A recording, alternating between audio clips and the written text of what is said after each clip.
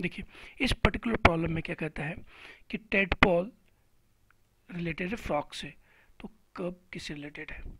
ये पर्टिकुलर जो प्रॉब्लम है, वो है रिलेटेड किससे? एनिमल एंड देयर बेबी से, जो भी एनिमल मेमल है, उसके बच्चे से। तो फ्रॉग अगर कहें तो जो फ्रॉग के छोटे यंग वंस होते हैं बेबीज होते हैं, उसको टेडपॉल कहते हैं, ठीक है? ये आपको पता होना चाहिए। तो फ्रॉग के बच्चों को टेडपॉल कहते हैं तो कब किसको कहते हैं? यहाँ पे कोई भी दे सकता है। ऐसे मैं बता दूँ कि लायन के बेबी को क्या कहते हैं? कब कहते हैं। तो जो बच्चे होते हैं लायन के, उसको कब कहते हैं। तो देखिए यहाँ और क्या है? काव है। काव के बेबी को क्या कहेंगे? काफ कहते हैं। सी ए एल एफ़ काफ कहते हैं। और कैट के बेबी को किटन कहते हैं। ठीक है?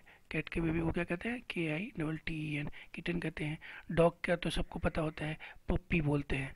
तो आपको किसी का भी पूछ सकता है तो एक बार मैं आपको बताता हूँ कि और कौन कौन से आपको किसके किसके बारे में पूछ सकते हैं। देखिए, ये हाँ ये इसको देखिए। डॉग का मैंने बता दिया पप्पी होता है। चिकन का चिक होता है, ठीक है? कैट का किटेन होता है ये भी मैंने आपको बता दिया। सिप का लैम्प होता है, ये भी इंपॉर्टेंट है, ठीक है? काव का तो मैंने बता दिया आपको काफ होता है, टीए का फ़ोन होता है, हॉर्स का फोल होता है।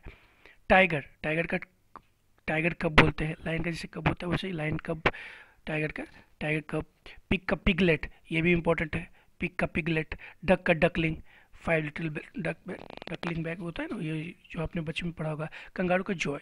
तो इनमें से किसी का भी आपको पूछ सकता है। तो आपको क्लियरली सबका पता होना चाहिए।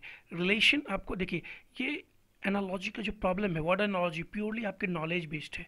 तो ये आपको ध्यान देना होगा कि किस पर्टिकुलर मैंने हर एक सीक्वेंस के क्वेश्चन को लिया है तो आपको सबके बारे में कोरिलेट करके पता होना चाहिए कि डॉग के बेबी को क्या कहते हैं चिकन के बेबी को क्या कहते हैं, ठीक है, और कैट के बेबी को क्या कहते हैं।